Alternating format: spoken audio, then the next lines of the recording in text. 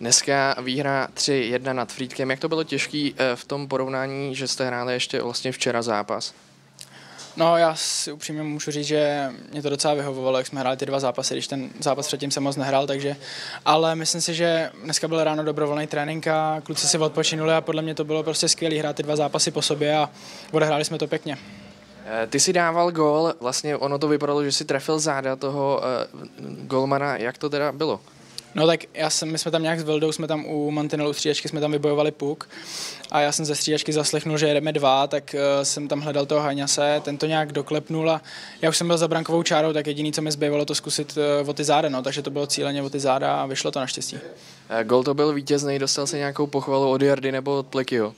Ne, tak to si myslím, že ani není potřeba, protože od, tam, od toho tam jsme, aby jsme všichni ty góly dávali a není potřeba nějaká speciální pochvala, ale tak určitě jako si myslím, že je uh, skvělý.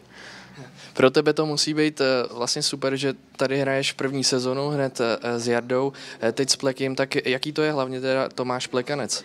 No, tak upřímně můžu říct, že prostě takovouhle šanci, jakou máme my mladí v letošním, v letošním máčku rytířů prostě nikdo nikdy neměl a nikdo nikdy mít nebude, protože my hrajeme s Vampem, hrajeme s, s Plekem, hrajeme s Jardou, protože prostě, prostě jsou skvělí a ne, ale je to, je to fakt skvělý. Koukat na ně hlavně v té kabině, jako, jak k tomu přistupují k tomu zápasu.